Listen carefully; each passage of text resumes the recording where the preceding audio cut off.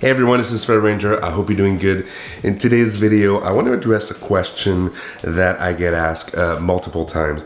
And it's the fact that, you know, some people are debating if they should get the X Pro 2, which is a very, very good camera, or the X-T2 from, uh, from Fujifilm. And as you know, I've been shooting with both for a number of months now. And I mean, it's been more than a year for the X Pro 2 and uh, almost a year for the X-T2. And I, I, I would say that there is two main reasons why you would want to go for one or the other, although they do share the same very, very uh, performant X-Trans sensor, the X-Trans 3 sensor, very, very high quality. For me, at the end of the day, it becomes a question of a couple things. The first question you should ask yourself is, do you plan on doing any video? If you do, I would definitely look into the X-T2 uh, and its 4K capabilities. I know they will be bringing, uh, or they actually already brought uh, 4K recording to the X Pro 2. Uh, but for me, uh, the camera that was designed with video, uh, not as an afterthought, but with video in mind, was the X-T2. And I did use it for some videos, although I do prefer my Sony a6500 that I'm filming on. Yes, I'm a, I'm a dual brand or triple brand type guy. I use whatever I need to tell my story. Uh, but let's go back to these cameras. So if you are primarily thinking about doing stills only, I would definitely look into the X Pro 2 because the X Pro 2, as you can see, has a smaller form factor. I mean, I have the battery grip on the uh, X-T2 here, but uh, this is, uh, for me, more portable.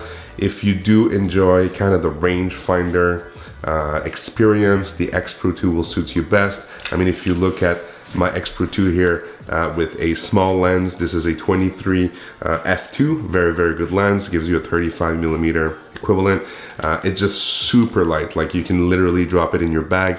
And I would recommend getting with the X Pro 2 uh, a couple of other prime lenses.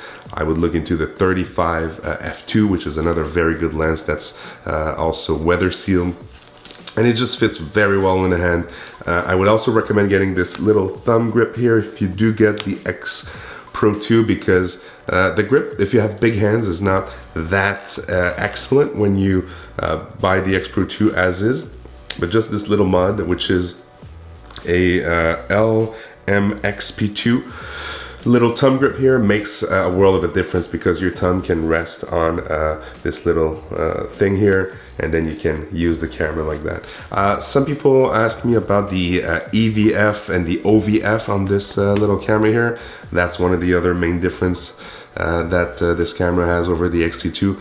I don't use the uh, OVF at all. I mean, I tried it a couple times for street photography and I end up uh, finding it very cumbersome when it comes to trying to see how the picture is gonna look like. I got so used to the, uh, to the EVF from the X100, the X Pro 2, and the X-T2 that I now shoot exclusively with the EVF, the electronic viewfinder, so where you can see basically the exposure, the frame, uh, and everything you need to see when you take a photo.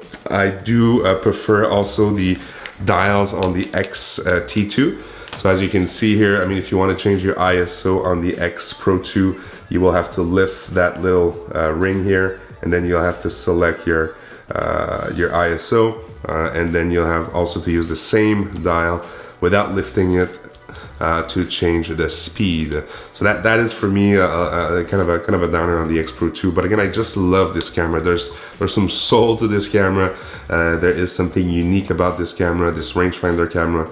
Uh, if you are a person that uses the swivel screen a lot, uh, again, Advantage X-T2 because um, you can actually swipe it like so and you can actually use it in very low angle. You can also use it like that if you want to be able to see what you're uh, shooting when you put it up in the air and this very nice side view uh, which becomes very interesting when you want to do verticals and also see what you are shooting in very low angle. So I would say there, there's there's tons of advantage for the X-T2, but there's a very special place in my heart for the X Pro 2 for all the reasons that I mentioned, the rangefinder style, the fact that it's so compact, and uh, so light to use, especially when you use prime lenses uh, on it.